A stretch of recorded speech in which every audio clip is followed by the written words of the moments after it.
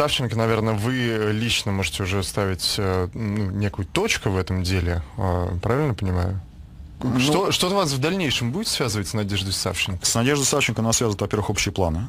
Потому серьезно, что, серьезно, а совершенно, что потому что делать? за то время, пока она провела в российской тюрьме, пока она насмотрелась на суд, такой российский, но с очень большим привкусом советского, я бы сказал так. Она пришла к выводу на собственном опыте, что суд без присяжных – это вообще не очень хорошо. И одна из ее задумок а, для, для Украины, соответственно, да, для ее uh-huh. страны, поскольку она же депутат, это, да. это не какой-то игрушечный статус, она самый настоящий депутат. У нее есть право загадать инициативу. Вот одна из вещей, которую она хочет и намерена в ближайшее время сделать, воспользовавшись этим правом, это внести проект про введение, точнее, восстановление Украине суда присяжных, полноценного. На Украине вообще сейчас нет суда присяжных? Там странная ситуация. А, там есть форма, которая так называется, но которая состоит из двух судей и трех заседателей. Угу. Это вообще говоря, вот здесь нужно было говорить с Пашиным про это как раз, а, потому что это его, это его. Сейчас вернем его. Да, это его, его то, чего он нас э, учил в свое время на третьем курсе. А то, что Шефенский суд, вот этот заседательский uh-huh. суд малого камерного состава и суд присяжных, это вообще разные вещи. И когда Конституция Украины говорит про суд присяжных, она, конечно, однозначно привязывается к вот этой классике, где uh-huh. 12 человек коллегии, а, судья и так далее. Вот а, нынешняя форма, она никого совершенно не радует ни судей, ни подсудимых, ни прокуроров, это никому не легче. И э, слишком, там, слишком она себя скомпрометировала, слишком сейчас много голосов в пользу того, чтобы давайте все-таки сделаем нормальный суд, попробуем хотя бы. И вот Надежда с ее ореолом э, героя и с э, статусом человека, который э, не понаслышке знает, что такое суд, что такое быть обвиненный, она как раз тот самый человек, которому, естественно, для э, взять на себя такую инициативу и продвигать эту идею Украины. То есть вы ее будете консультировать как депутата? Мы сейчас пишем этот законопроект. А вы с кем? Со своими единомышленниками. Ну, малень, маленький кружок юристов. Mm. На самом деле любой хороший проект, он пишется маленькой группой, а потом mm-hmm. обсуждается большой. Вот Я... до стадии, когда можно обсуждать большой, мы еще не дошли. Мы пока только делаем черновик. Потом это, естественно, все будет многократно пересматриваться, моделироваться.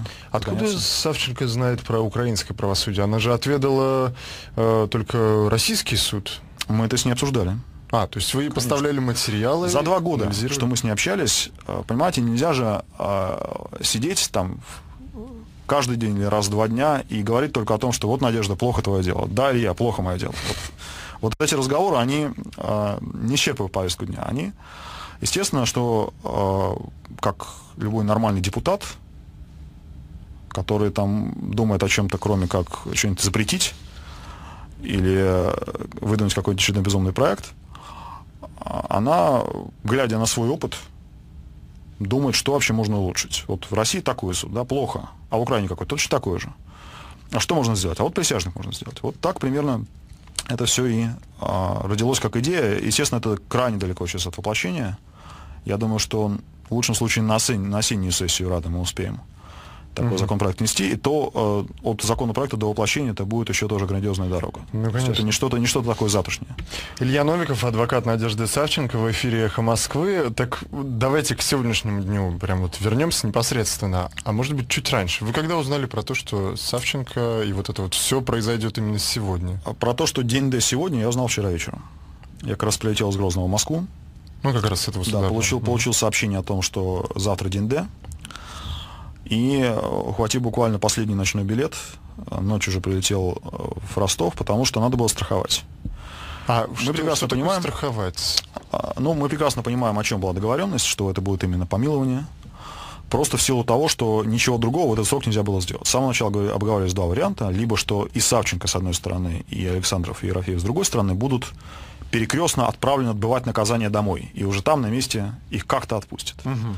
А второй вариант был более простой, прямолинейный, что их просто помилуют и уже в статусе свободных людей с чистой совестью обменяют или там синхронно, синхронно их отправят туда, туда Если Я не путаю, Ходорковского уже также отпускали. Да, да? совершенно верно. И э, просто в силу того, э, какие сроки значит, у нас были рабочими, э, вот в последние дни стало понятно, что это будет именно помилование. Там был разговор mm-hmm. в нормандском формате про это.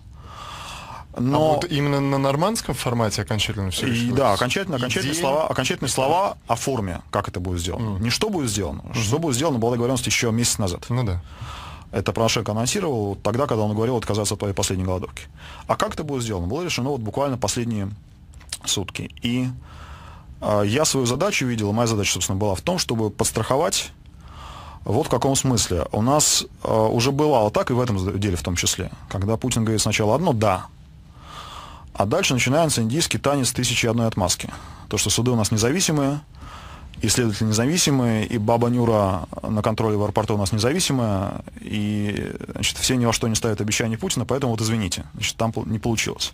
То есть, вот, чтобы не было... говоря, решение сверху, оно не дошло э, по тем Ну, или так это выглядит, до... или так это пытаются выставить. И чтобы максимально закрыть вот хотя бы с этой стороны, чтобы у нас, э, нам ссылаясь на вахтера, не зарубили то, что было согласовано президентами, а, там, например, консулы из украинского консульства в Ростове-на-Дону дежурили на готове с запасным паспортом для Надежды. Если вдруг оказалось, что в последний момент человека нельзя выпустить без паспорта.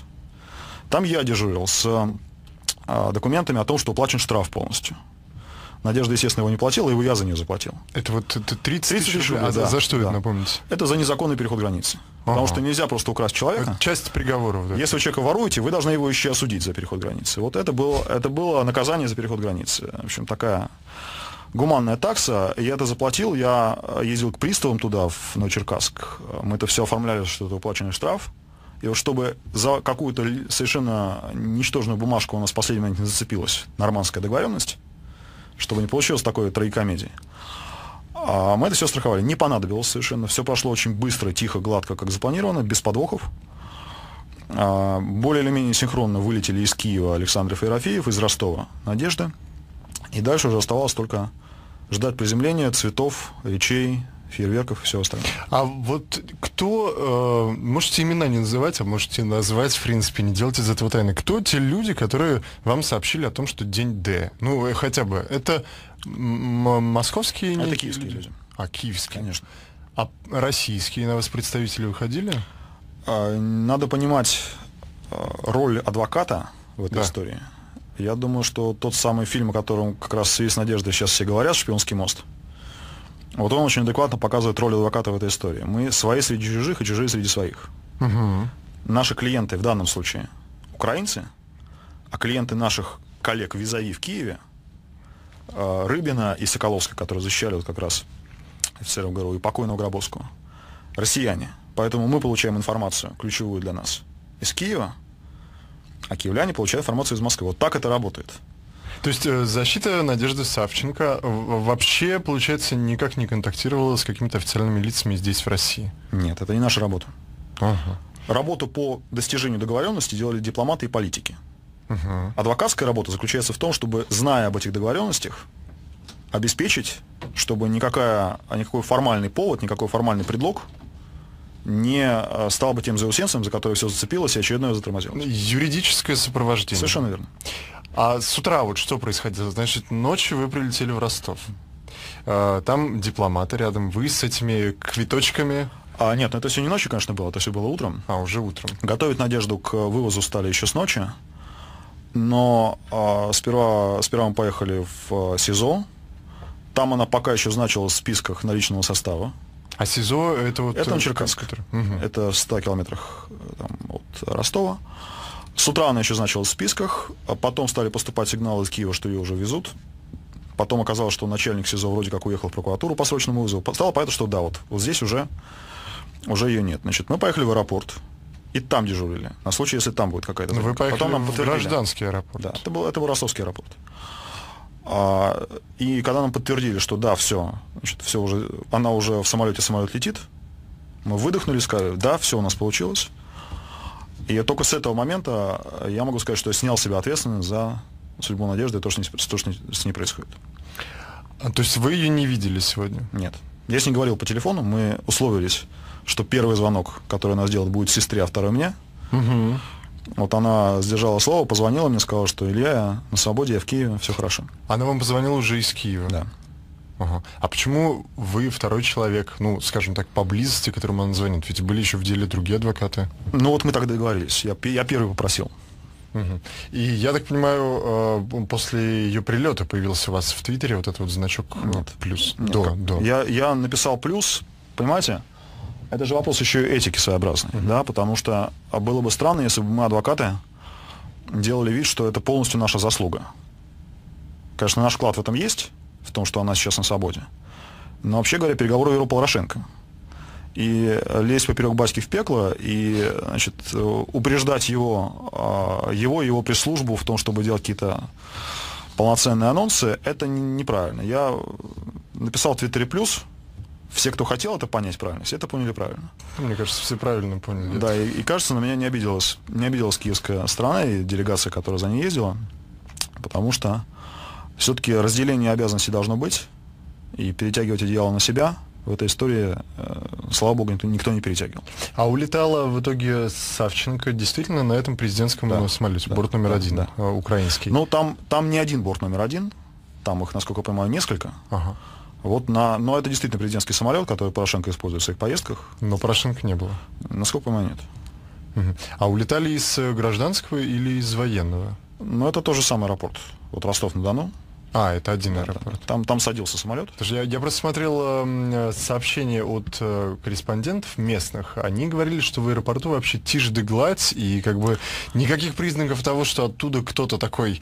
Там садился, значит, там садился этот самолет, да. Mm. А, там даже есть такой сайт, э, Flight... Радар. Да, Flight Radar mm-hmm. 24. Вот там энтузиасты отслеживали полет этого самолета, как он летит, какие он делает петли, развороты, маневры все тоже было такое своеобразное шоу для тех, кто следил за ситуацией. Э, Савченко, вот когда прилетела, вам позвонила, кроме того, что она вам сообщила, Илья, я на свободе, что еще? Ну, надо понимать, что это человек. Ну, она не в эйфории от того, что она на свободе. Она сразу готовит повестку на завтрашний день, после завтрашний день, что мы делаем. Потому что она э, рассматривает вот этот вот период, когда она была в СИЗО, не то, что там я за два года стала депутатом, а то, что я потеряла два года. И надо наверстывать. Mm-hmm. Поэтому завтра у нас пресс-конференция. Послезавтра мы садимся обсуждать этот проект. После, после послезавтра будет еще что-то, еще что-то, еще что-то. То есть она, а, если кто-то думал, что вот, а, ее депутатство это какая-то такая синекура, нет. Это не синекура, она к этому так не относится. И она там, я думаю, что в ближайшие дни, недели наведет шороху. По крайней мере, по крайней мере, покажет какой-то новый образец того, а, каким может быть депутат и политик, который э, реально рвется работать. Как, по-вашему, Савченко, ну вы же долго за ней наблюдали, как вот она поменялась как человек за эти, сколько, два года? Она стала, безусловно, увереннее в себе и жестче. Она стала политиком? А, я думаю, что да. Мы это поймем окончательно вот сейчас. Угу. Я думаю, что да, но она, кстати, и мне говорила, что, что я за эти два года тоже стал жестче.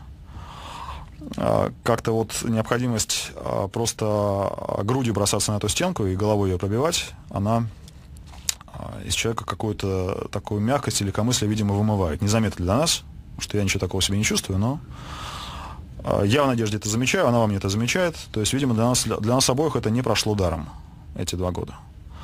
Насчет политики, ну, посмотрим. Если говорить о процессе, самое трудное, что для вас было?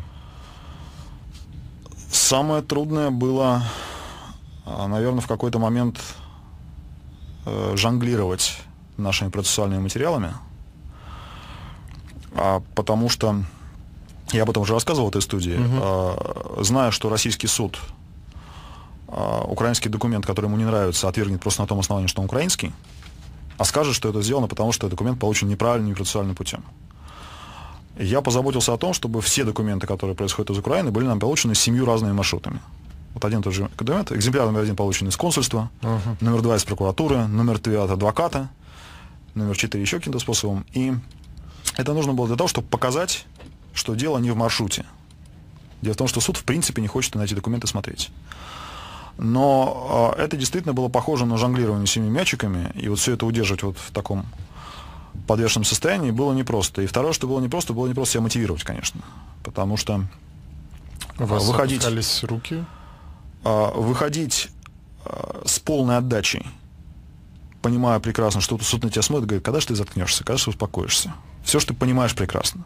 И понимаешь, какой будет приговор, что мы в этом не виноваты, но отстань уже от нас. И тем не менее, работать с полной отдачей, это требует каких-то отдельных усилий. Вот у меня, у меня лично, а, я не знаю, как у моих коллег, у меня самый тяжелый период был январь-февраль. Когда уже было дело на излете, Угу. И, и можно было уже сказать себе, вот все, хватит уже, вот уже, уже мы все, что могли, сделали. И все равно каждую новую неделю, когда я думал, на прошлой неделе я думал, что мы уже исчерпали почти свою поездку, оказывалось, что мы можем провести еще одного свидетеля, и можем найти еще важный документ, и еще, еще, еще. И в итоге, наверное, значительная часть того впечатления, которое это дело оставило у публики, в том числе у юристов, потому что мы обсуждаем, обсуждаем же между собой в своем, в своем профессиональном кругу, э, пришлось вот именно на эти последние недели. Потому что без них это была бы другая история. Это была бы история про то, что вот расследователи схалтурили, а как было на самом деле, мы не знаем. А именно благодаря последним неделям появилась возможность внятно показать и доказать, что это дело было именно фальшивым. Это не небрежность, это не недостаток улик, а это именно фальшивые улики, которые делались, делались с самого начала как фальшивые. Это было важно. И та поддержка, которую мы получили в марте, в конце февраля и в марте, как раз на излете, перед приговором, она во многом опиралась на то, что политики, которые нам ее оказывали, были уверены в том, что это настоящий правильный кейс, это не, а, не какая-то история в пользу бедных, это не пожалейте невинных, это вот история про черное и белое, правду и ложь. И там можно безопасно в нее вмешаться, не рискуя, что потом выяснится, что ты поддерживал преступника. Хотел вас э, спросить, у нас время есть еще до новостей, э, про юридические моменты освобождения Савченко. Э, мы же с вами уже проговорили, и это было сегодня известно тоже днем, что Савченко помилована. Совершенно верно. А вот еще раз объясните, кто просил Путина о помиловании? Он же сам не может помиловать? Должно быть какое-то Во-первых, может. А может. Да. А, дело в том, что помилование, а, это, кстати, по-разному устроено в России и Украине, в Украине немножко другая конструкция. Угу. Но в России помилование – это институт не уголовно-процессуальный, это институт конституционный. Угу. Строго говоря, поскольку в Конституции записано, что президент имеет право помиловать, вот он кого хочет, с прошением, без прошения, угу. того и милует. Но с момента, когда осудили Ходорковского, вот пошла гулять такая, даже как правовая теория, что якобы нужно вот, угу. отдельное прошение, а без него никак совсем. Строго говоря, это не так, но поскольку президент, который это решает, вот на это смотрит, предпочитает смотреть таким образом, значит, де-факто это так. И поскольку оказалось, что Надежда э, это вот ровно ситуация с капитанской дочки. Там, плюнь да поцелуй злодею ручку. Вот есть люди, которые плюнут и поцелуют ручку, а вот Надежда не хочет целовать ручку. И она категорически отказалась это писать. И нам запретила адвокатам за нее писать. А адвокаты могут отдельно писать? Вот, э, ну, попробовать-то можно. То есть, mm. понимаете, когда, когда а, российская сторона уже ищет какого-то благовидного выхода из ситуации, я думаю, что там все что угодно зашло бы за это. Но она не, не пишет, и мы не пишем. И в итоге а, была разыграна такая, на мой взгляд, некрасивая сцена, когда а, родственники вот, погибших журналистов, угу. что это они это написали. И там даже президент Путин произнес целую такую тираду, что вот в интересах гуманизма а, и так далее. Я не очень верю в эту искренность. Вы думаете, родственники? Я не знаю, я не знаю, что думали, я не знаю, что думали родственники. Я допускаю вполне, что их так раз намерения были самыми благими, но я, я просто помню очень хорошо эпизод из этого дела. Осенью 2014 года, когда э, следствие провело экспертизу по документам, которые они считали написанными почерком Надежды, там как раз был рисунок, mm-hmm. который им казался похожим на карту снайпера или наводчика, и они раструбили уже успешно, что это ее записи, а к ним приходит экспертиза из же собственного института криминалистики о том, что это не ее почерк. И для того, чтобы эту экспертизу аннулировать и провести повторную, э, привлекли как раз вдову Волошина, она ознакомилась mm. с этой экспертизой, как бы написала по своей инициативе жалобу, исследователь, как бы нехотя удовлетворяя эту жалобу на его собственные действия, согласился с тем, что надо провести повторную экспертизу. То же самое было с другими потерпевшими. Там, если помните, была целая обойма, было шесть человек, которые не пострадали физически, но вот они проходили по дороге в этом месте, и поэтому их всех записали как людей, на которых Савченко покушалась, и они потерпевшие uh-huh. покушение. Точно так же их использовали как потерпевших для того, чтобы склонять всячески, что вот мирные жители, мирные жители. А в конце прения один из прокуроров встал и говорит, да, вот, к сожалению, по закону они украинские граждане, поэтому мы не можем признать их потерпевшими, мы отказываемся от этого. И все. Поэтому мы видим, что использование именно потерпевших для каких-то своих сиюминутных интересов – это модус операнди обвинений, прокуратуры, теперь уже российские власти в широком смысле в этом деле. Поэтому я думаю, что та же самая ситуация и с этим прошением. Надежда Савченко, вот она вернулась в Киев. Она уже, что, в ближайшие дни выйдет на работу в Верховную Раду? Ну, насколько я знаю ее план, она собирается в первый же день, когда будет сессия Верховной Рады, туда угу. прийти, лично своими руками снять свой плакат, потому что там на трибуне, с которой выступает в Раде, там все последние месяцы висел плакат «Свобода Надежды Савченко» своей фотографии. Да. Она хочет его снять и тем самым подчеркнуть, что все, ее Одиссея закончилась, и пора уже работать в нормальном режиме, а как-то вот поставить точку на этом. Потому что а, у нее есть тоже такое большое подозрение, что а, там ее будут воспринимать по крайней мере, в ближайшее время. Да, вот, вот как, как такого человека, который вышел из тюрьмы и который должен только об этом думать, об этом говорить. Вот она очень хочет это пресечь, угу. чтобы ее воспринимали как нормального депутата с какими-то планами, со своим видением ситуации, а не а, вот такого а, показательного сидельца. А что Сав... Не, не Нельсона Манделу, скажем так. Да. Ну, понятно. Скорее, как Маргарет Тэтчер, может быть, да? Э, что Савченко думает о нынешней украинской политике? Я думаю, за два года вы успели не раз обсудить эти моменты, потому что про отношение к Кремлю, к Путину можно судить по ее неким заявлениям э, из суда. И, собственно, по ее отношению к суду тоже известно. А вот Порошенко, он для нее кто? Это же вроде человек, который приложил определенные усилия для того, чтобы вот она сейчас была в Киеве, а не в СИЗО. Ну, она в моем присутствии первый раз говорила с Порошенко по телефону. Угу. Там как раз была целая, целая операция и целая отдельная договоренность о том, чтобы это когда консул, было? это было вот как раз последний день голодовки, когда было объявлено, угу. что есть договоренность, 18 апреля. Месяц, а, месяц 18 апреля, да. Угу. Или 19, не помню точно дату. А, договорились, что консул придет в СИЗО с телефоном специально, потому что в СИЗО нельзя ходить с телефонами даст ей поговорить, и вот Порошенко с ней говорил. Она, безусловно, а, безусловно ценит то, что Порошенко приложил эти усилия. А, я думаю, что никто ее не назовет неблагодарным человеком или человеком, который забывает какие-то такие вещи. Но э, в политике она, конечно, себя будет вести самостоятельно. Это те, кто думают, что ей можно манипулировать, вот как человек, который за два года, наверное, больше всех с ней общался, даже больше, чем а, ее родные, может быть, только исключая коридорного, который там стоял постоянно на дежурстве ее камеры. И то не факт, потому что коридоры менялись. Я абсолютно уверен в том, что манипулировать ей и разыгрывать ее в темную не получится. Или, по крайней мере, не получится делать два раза одинаковым способом. Потому что она очень быстро... А вот если чему-то ее тюрьма и научила, то это читать людей. Она смотрит на человека, там вот просто в зале на прокурора, на журналиста, на какого-нибудь там человек, который писал ей, и сейчас ей машет рукой из зала, что вот Надя тебе писала, и понимает, кто перед ней. И э, для политика, наверное, ну, по крайней мере, для честного политика, который пытается быть эффективным политиком, это, наверное, самое главное, самое золотое качество разбираться в людях. Так что я думаю, что мы увидим в ее исполнении что-то довольно интересное, и то, чего в украинской политике не было никогда или не было очень давно. Зажжет, думаете? Я почти уверен.